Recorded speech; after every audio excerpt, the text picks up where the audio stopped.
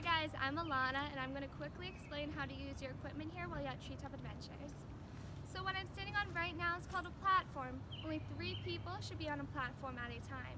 Between the platforms you're going to find these elements. Only one person should be on an element at a time. And our courses, they range from difficulty level, with yellow being our easiest, then going green, then blue, then black being our hardest. Everyone should start on either yellow or green course, then you can make your way up to the harder ones if you would like. These are the clips you guys are going to be using today. One clip will always be open while the other one will always be locked, and it will switch depending on which clip is locked at a time. So to start, to open my clip, what I'll do is I'm going to push on the bottom of the silver, and then pull this lever down towards me, just like that. To start my course, I'm going to be getting my unlock clip, and I'm going to be placing it on this cable, the first cable I see. And this red thing right here is called a tweezel. A tweezel acts like a key and locks my open clip. So I'll be bringing my open clip to that tweezel, push up on the tweezel to lock it so that it's locked onto my cable now. Then I can grab my other clip, which will now be unlocked, and place it on the cable as well, and that is how I'm going to be starting my course. So if I'm walking across my elements and I happen to lose my balance and fall, I would fall about two feet before my clips caught me, not too far at all. In order to get back up, I'm just going to reach as high as I can onto my clips, put my feet on my elements, and pull myself back into a standing position. If you guys ever need help during the course, I want you guys to yell staff as loud as you can, and a staff member will come and help you. So to move along with my course, I'll be getting my unlock clip. Then I'm going to place it on the next cable I see, and use the tweezel to lock it in. Then I can grab my other clip, which will be now unlocked, placed on the new cable as well, and then I'm good to move along with the course. Now, whenever I see a blue tweezel, I'll know that I'm at a zip line. For a zip line, I need my zip trolley on my left side.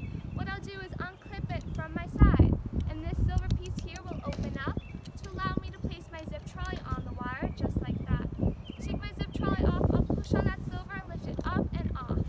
This little hook right here, I call it the tail of my zip trolley. This tail should always be in the trolley, next to my blue tweezel. So once again, what I'll do is push on that silver to open up the zip trolley, place it on the wire, and I'll check to make sure that tail is next to my blue tweezel. Then I will grab my unlock clip, place it on the cable, then use that tweezel to lock it, so that's locked on, and then I'll place it on top of my tail like that. Then I can grab my other clip, and it's gonna go on my D-ring, that silver piece in front of my stomach here. Clip in there. Now one hand will go on top of my zip trolley, my other hand will hold onto the lanyard underneath the zip trolley, and I can sit down in my harness and lift my feet up and I'll go across the zip line.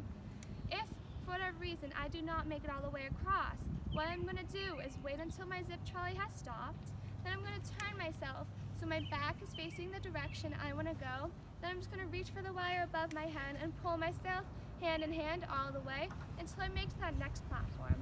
Once I'm at that platform, first thing I'll do is take that open clip off my D-ring, place it on the next cable, then I'll use that tweezel to lock it. Then I can take my other clip off the zip line as well.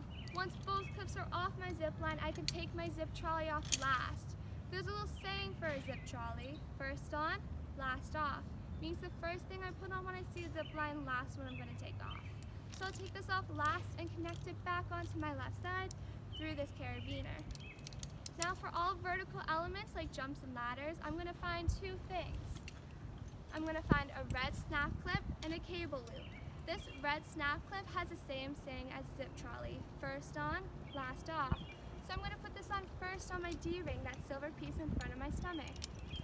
Then I can grab my unlock clip and grab onto that cable loop and place my unlock clip on the cable and use that tweezel to lock it on. Then my other clip can go on the cable loop as well. Once both clips are on there, I can let that go and hold on to that blue lanyard right in front of me with two hands, just like this, and then jump off my element. Now at the end of all my courses, I'm going to find a freedom tweezel. It's a bright green tweezel. It'll be somewhere on the ground. Just look for it.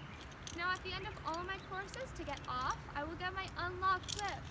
Then I will grab that freedom tweezel, lock the clip so that it's locked, but no longer attached to anything.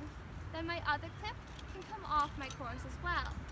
Once both clips are off my course, what I'll be doing is clipping them back together, then placing them around my neck to easily carry them.